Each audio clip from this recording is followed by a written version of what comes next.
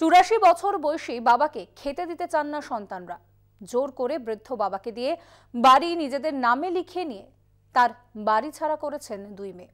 তমলুকের তিন কোটি মিত্রের প্রতি তার সন্তানদের মনোভাব হতবাক হাইকোর্টের বিচারপতি রাজশেখর মান্থা।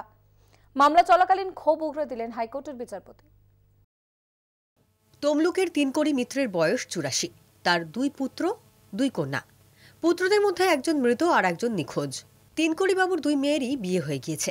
বিয়ের পর থেকে দুই কন্যা শিপ্রা সাউ ও শম্পা দত্ত বাবার সঙ্গেই থাকেন। তিনকড়ি বাবুর স্ত্রীও মারা গেছেন। দু হাজার আঠারো সালে তিনকড়ি বাবুকে দিয়ে তারা বাড়িটি গিফট ডিট লিখিয়ে নেন। এরপর দু হাজার একুশ সালে তেসরা জানুয়ারি তিনকড়ি বাবুকে তার নিজের বাড়ি থেকেই বের করে দেন মেয়েরা। বৃদ্ধকে নিজের বাড়িতে আশ্রয় দেন তার বন্ধু দিলীপ বারিক। পূর্ব মেদিনীপুরের বন্ধুর বাড়িতেই থাকতে শুরু করেন তিনকড়িবাবু। নিজের বাড়িতে ফিরতে চেয়ে তমলুক থানায় তিনি বারবার আবেদন করেন। মামলা করেন তমলুক আদালতে। তিনকড়িবাবুর আইনজীবী সৌমিক গঙ্গোপাধ্যায় জানান, তমলুক থানার পুলিশ বারবার চেষ্টা করেও তিনকড়ি বাবুকে বাড়িতে ফেরাতে ব্যর্থ হন। মেয়েরা তার কাছ থেকে বাড়ি জোর করে গিফট করিয়ে নিয়েছিলেন।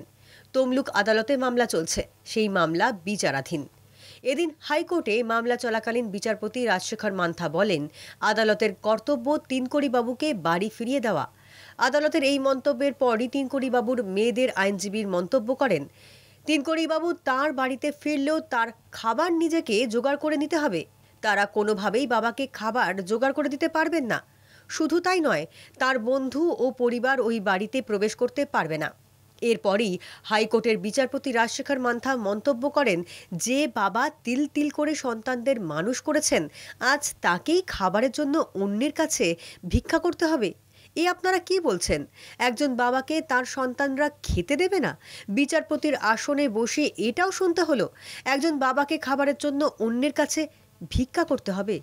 তিনকড়িবাবুর দুই মেয়ে আইনজীবীর উদ্দেশ্যে বিচারপতি বলেন, বাবার সঙ্গে সঠিক আচরণ করলে তাদের সঙ্গেও ভালো হবে।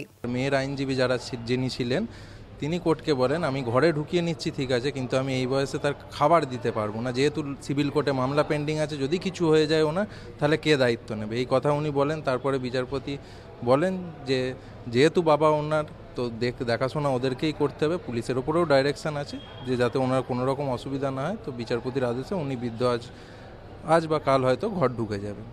তিনকড়িবাবু যাতে শান্তিতে তার তমলুকের বাড়িতে থাকতে পারেন তার ব্যবস্থা করার জন্য তমলুক থানাকে নির্দেশ দেয় কলকাতা হাইকোর্ট। ক্যামেরায় সুবীর ঘোষের সঙ্গে পীযূষ কান্তি নাগের রিপোর্ট কলকাতা টিভি।